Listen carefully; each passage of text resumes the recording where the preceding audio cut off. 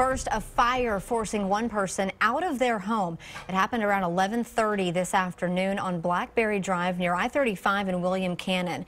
Firefighters say the man inside was able to get out quickly thanks to a working smoke detector.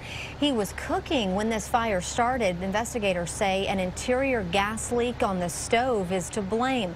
The fire caused about $30,000 in damage. The Red Cross is helping him find a place to stay.